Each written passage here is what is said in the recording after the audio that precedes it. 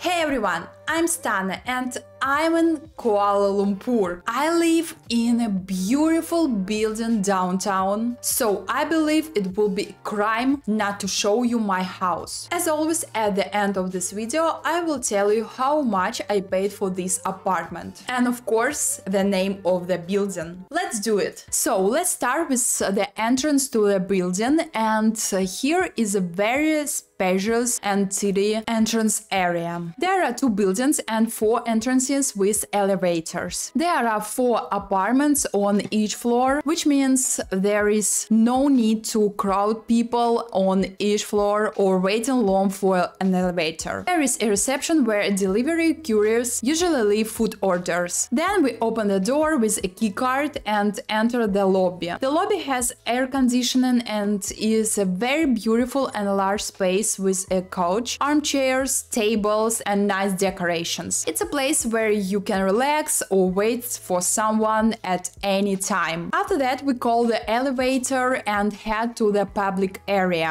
All the elevators work with keycard, which is very convenient and safe. In Malaysia, the number 4 is considered unlucky. The floor's numbers have been changed to 3rd A, 13th A, 430A. And the 7th floor, we have a gym, barbecue area, pool, jacuzzi, and a pool with exercise equipment, a hydro gym. So the first thing I want to show you is the gym. You can also enter it only with a key card. The gym is very large and spacious. You can do yoga, dance and use all the exercise equipment here. The gym has huge windows with views of the entire city and mountains in the distance. There is a lot of open space and a wide selection of sport equipment. After we leave the gym, we enter the pool area with exercise equipment. There are not many of them, but there is still a choice and during working hours you can try exercise in the water. I tried it.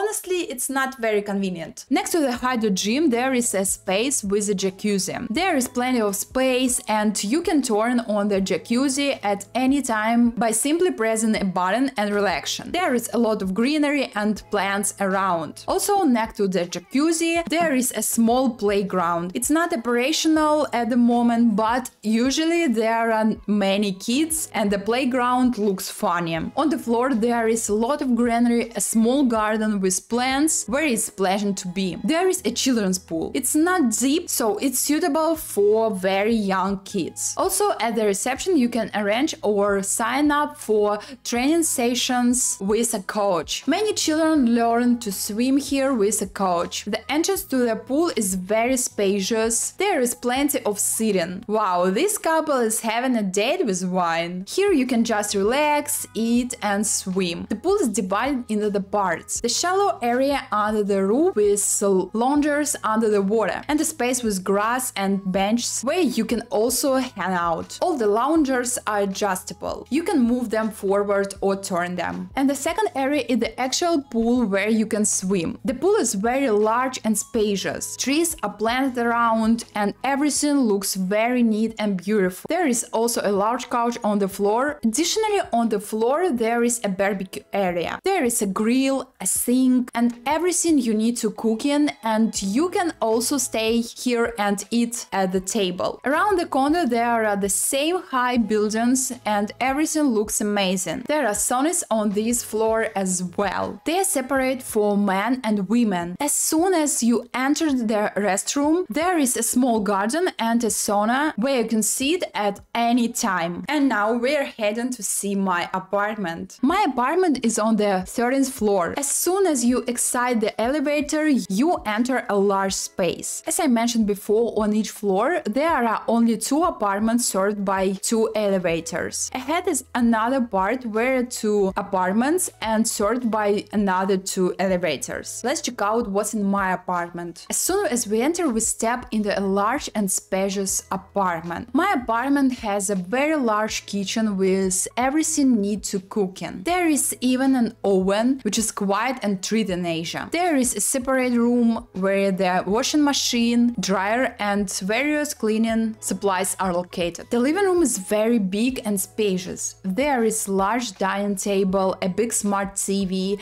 a couch and a huge panoramic window with a view of the neighboring building. The apartment is very cozy and now of course I want to show you the bedroom. The bedroom isn't large but there is still plenty of space. There is a king bed, a similar large window, a sitting area by the window and a desk. The desk used to be in the living room but I moved it to the bedroom to make it convenient for work. Additionally the room has a very large wardrobe area and lots of storage space. Right in the bedroom there is a bathroom as well. It's always not very big, but it has everything you need. A shower, a toilet, a sink with a large mirror. The apartment is very cozy. Now let's see what entertainment options are available in the building. So we're heading to the 43rd A floor. On this floor there is a large and beautiful library. The entrance, just like in other areas, requires a key card. The library is cool and quiet, making it a great place to work, read or simply relax with a view of the city. There is a big bookshelf and all the books are available for reading. You can also read magazines, relax in their armchairs, work at a small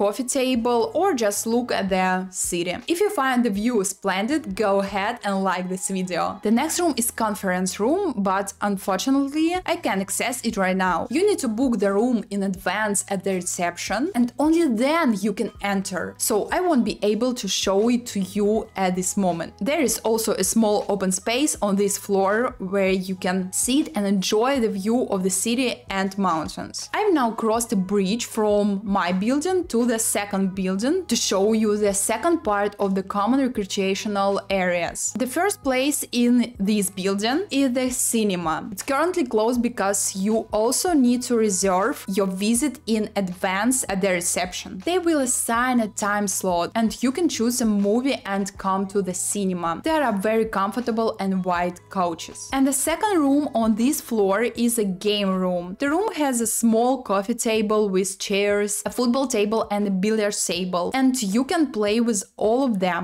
But now let's go to the most beautiful place in the building and the place that makes renting an apartment in this building. Now we've arrived at the 45th floor, which is the top floor on the building. Entire rooftop is a huge garden with a view of the entire city. There is a large relaxation area where people often bring food and wine to enjoy dinner with a city view. Next to this area there is small garden where you can see one part of the city and do activities like yoga, for example. After passing through the relaxation area, we can immediately see this main view of downtown and the iconic Twin Towers. You can look down at the cars if you're not afraid of heights and just take in every building. After that, we walk through the plants and relaxation spot and the entire view of the city opens up before us. Honestly, when I first came to this rooftop, my jaw dropped. Even in the evenings, it's incredibly beautiful here. Looking at the city lights and having dinner sounds like a best idea. I absolutely adore this view and I spend every evening on the rooftop. On the other side,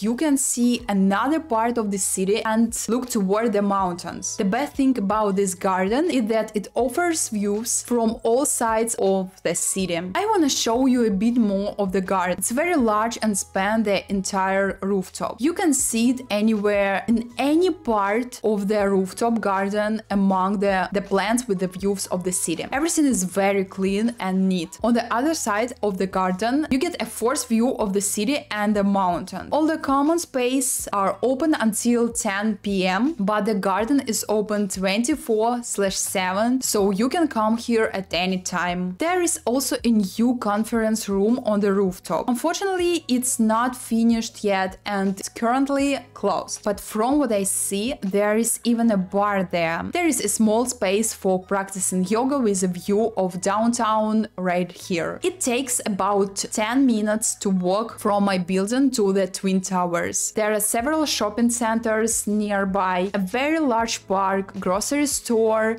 and plenty of restaurants and cafes. And now, as promised, I'll tell you how much I paid for this apartment per month. The name of this condo will be in the video description, as always. I found this apartment on Airbnb and I paid $700 per month for this apartment. Considering that the apartment is right in the city center, very spacious, and the condo is premium class, I believe this is a reasonable price. However, I know you can rent that apartment much cheaper in Kuala Lumpur downtown as well. I hope you enjoyed this condo tour. Let me know in the comments if you would like to live here. Don't forget to subscribe and see you in the next video.